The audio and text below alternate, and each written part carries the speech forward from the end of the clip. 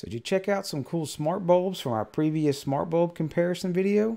But now you want to install them, and now you got that issue of someone turning your smart bulbs on and off, and then you can't turn them on with your different voice assistant. I know you're probably thinking, well, I'm just going to put a piece of tape, maybe put a guard on top of it, and that way no one can turn the light switch on and off. No, don't do that. Never remove functionality while you're adding functionality to your home. We're going to show you some really easy steps to take a light switch and you'll be able to simply push the button and turn the bulb on and off without ever ruining the ability to turn your lights on and off with voice assistants and automations. And as a bonus, we'll also show you how to do a long press, set the bulb at full brightness, or if you want it a little bit lower, long press, it'll go down to dim, and you want it back to full brightness, you long press and it goes back. So it's real simple. I'll show you a few steps and let's get to it. So with this project, we're going to be using the Teckin SR41 single pole light switch. We did flash this with the latest version of Tasmota, using the Tuya convert process, but we have shown this rebrand of light switch before. If you've checked back on our previous videos of the KU LED light switch, it's pretty much the same light switch. And of course, you can use any type of light switch flash with Tasmota to replicate this exactly. There is other ways to do it with Z-Wave, Zigbee, and various other ones, but we're not going to get into that. We're going to show you how the easy process to do this with a Tasmota light switch, as well as a Tasmota light bulb, all with a few easy, simple steps, and not lose the ability to do dimming and colors, effects, etc., and still use the tried and true light switch on the wall that we all know without losing that functionality. So of course yours will be typically in the wall, but if you can test it on the bench before you do that, go ahead and do that. It helps you make sure you have everything working before you go jump to putting it in the wall. We're going to be using the Cliff Quick Test like we always do and wire it up and we will be capping the red side here. Now in your wiring configuration you will have it wired all the way and providing power to the lights just as you normally would. But for our test setup we're going to be capping the power off so we don't get shocked. So we'll go ahead and put this in the Cliff Quick Test and we'll go ahead and put this in the lamp and then we'll show you the few commands to get this going. Let's get to it. So for the wiring, it's going to be your typical everyday smart switch wiring where you put the light switch in, make sure you do have the neutral in the box, and do feed the hot wire over to the light bulb. Now you think, well, how are we going to do this? Well, when we do our few commands in Tasmota, it's not going to cut off the relay in the smart switch. It's actually just going to send a command over MQTT straight to the bulb and leave power on the bulb itself. So pretty simple. Let's go ahead and jump into the console and we'll show you a few commands to get it done. So next, flipping over to the console and you know what else? Thinking about switching or flipping? You know, make some good flipping PCBs? Definitely PCBWay. They make some awesome PCBs. They're really high quality. They got a short setup time, It's shipped to your door very quickly. They always got some sort of special going on. You can do your own various project and get the PCBs sent right to your door. Check them out, PCBWay. So once you have your smart switch set up and your smart light set up that you want to control, the first step we're going to do, we're going to show it using a switch because I do like to use the switch because it gives a fast response and it does give us two actions of the short press and the long press action. So if you go to configuration, go to configure template, and of course yours may be different than this based on the switch you use, but you'll be looking for button one. We're going to change that to switch one. And we'll save it and let it restart. Now right off the bat, if you do go and push the button on the switch, you will notice it's only going to turn on and turn right back off based on when you're holding it. So what we need to do is we need to set a switch mode. Typically you'll do a switch mode 1, 5. And that's going to set us up to do a short press and a long press. And while we're at it, we're going to do set option 32 and we'll do 7. That's going to give us 7 tenths of a second for the long press. The default is set up for 40, which is four seconds, and that's a long time to be sitting there holding the light switch. So once you have that set, you can go ahead and test the switch to make sure it does turn the power on and off just with a simple toggle. So if you don't think you have the switch mode right, a little debug command I like to do is a rule that just publishes the status of the switch no matter which way it's in. So we'll do a rule one on switch one, pound sign state do publish my slash test and you do percent value percent. And what the percent value is is going to publish the actual state of the button or the switch. And we'll do the end on and make sure you do rule one space one to turn that rule on. And then we can test out the button on the switch here. You push it once. You can see we get a two for the payload and you continue to push it you're going to get two two and so forth now if we hold it down past the seven tenths of a second you will get that my slash test equals three and that's going to be your state of three to send to do other actions instead of just turning the bulb on and off. Now, next thing we want to do is flip over to the bulb or the bulbs that you're wanting to control with the light switch.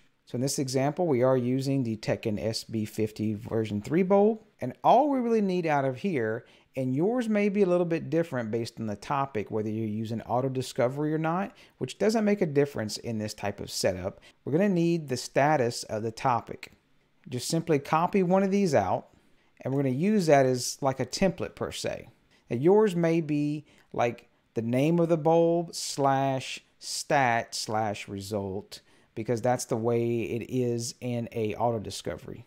Now we did mention if you want to do multiple bulbs to keep them all in sync, say you have three and like say one light fixture in the room, not just one, You'll need to go into all three of them and set a group topic, like we've done here, a group topic of bulb test, and we were testing all of our smart bulbs before. Set them as a group topic that you would like to control all at once, and then all you have to do is send that one topic, and those three bulbs will listen to that one topic at one time and change their brightness, their status, etc. If you still want to control them individually, you can still do that as well through like Home Assistant, Node Red, etc. So we'll go ahead and start a rule over the previous rule. We'll empty that one out just to be sure. And you'll notice the switch should go back active and it is changing the actual relay. But as soon as we put in rule one and we per se steal the status of that switch, it's going to decouple it from the relay and we'll leave the relay on at all times. So we're doing rule one on switch one, state equals two. This two, remember, that's your short press. We're going to do a publish and we'll paste in our little template we grabbed before and we'll change the first part to CMND, short for command. We'll leave the template how it is and then we'll change the last part to power. And you can put it as lowercase or uppercase on power. The only part that is case sensitive is the actual topic itself. We'll type in toggle and then we'll end on. We'll hit enter and make sure you do see that the rule one is still on. If rule one is not on, just go ahead and type in rule one space one and it will turn on. So at this point, now we can actually just push the button on the switch and it will send over to the bulb the toggle and it sends it over instantly through MQTT. And that's how you control your bulbs straight from the wall without losing power because we know that all just sucks whenever someone goes in and turns the power off on your smart bulbs and you can't turn them back on through your automations or voice assistants.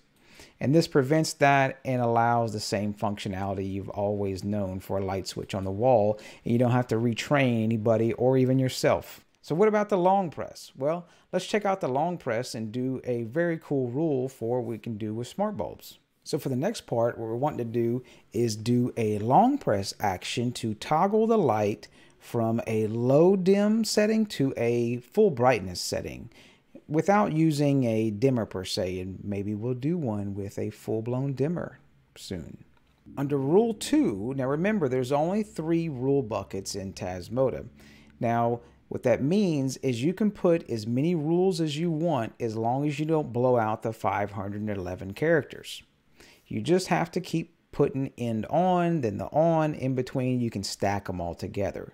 So to keep it simple, we're not going to touch rule one. So in rule two, we're going to start off with doing a on system boot. It's going to set up variable one as a zero. And that's just a memory variable. It's not stored in the actual flash chip itself.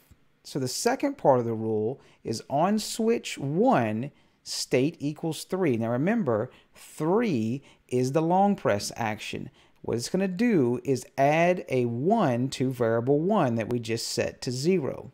And that's all that's going to do when you long press the switch. Now the next part, it's going to watch this variable 1. Whenever it sees the variable go up 2 or above, we want to roll it back over to zero. So basically we want to see that variable just do a zero, then a one, then a zero, then a one. It just kind of rocks back and forth. So what about the dimming? Well, hold on, we're getting to rule three. So here's where the magic happens.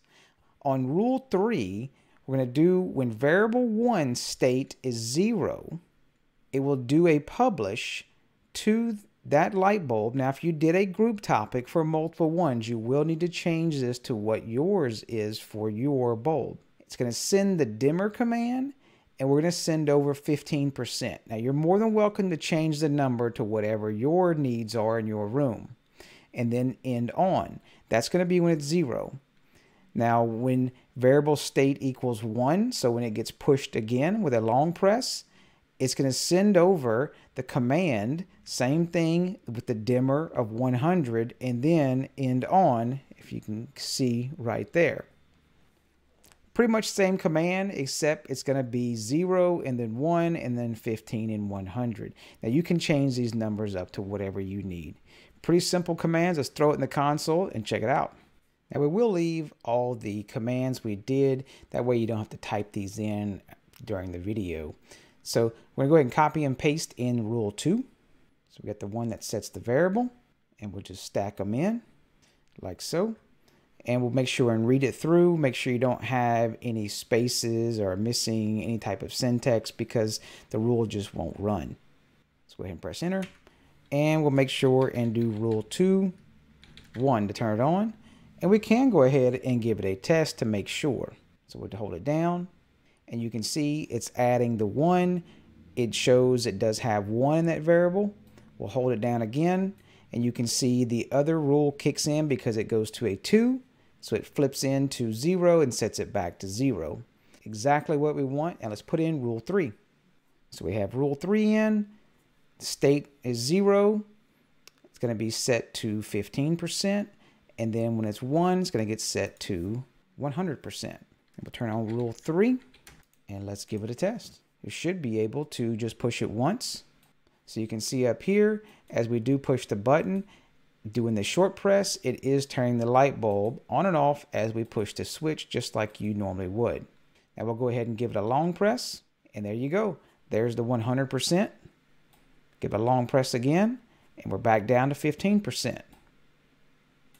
So real simple way you can control your smart bulbs straight from the wall and even do the dimming without using a dimmer itself. So one last step you would want to do is you'd want the relay to always be on on the switch no matter what. You wouldn't want to bring it into Home Assistant or whatever because you typically would not want to turn this relay off unless you were swapping the bulbs and simply wanted to kill the power. So what we're going to do, we're going to use the power on state command and we're going to change it to keep the relays on at power up. So we're going to do power on state space one on the console. So we're going to go to the console of the switch. We do power on state space one. And what that's going to do, again, that'll make sure that relay is always on because you will want the relay on of the switch so you can provide that power to your smart bulbs at all times. So that's it. Wraps it up. It's a pretty cool little way to still control your smart bulbs and don't lose functionality of everything and retrain everybody, including yourself. It's always a topic that we do cover several times in Discord, Facebook, etc. And I wanted to go ahead and get the content down and also I can reference it for myself as well. So stay tuned. We probably will do others with various other switches, dimmers, etc. to control different things and show you some back to basics things of how to do some real simple automations and keep things simple for everyone else in your home. So I appreciate all the Patreon subscribers. It does help bring future projects and future content to the channel. Thanks everyone. So definitely give us a thumbs up on the video if you like the content and give us a comment down below on future things you'd like to see us do. If you're not a subscriber, be sure to hit that subscribe button and hit that bell icon so you can catch our next live stream and video. And y'all take care.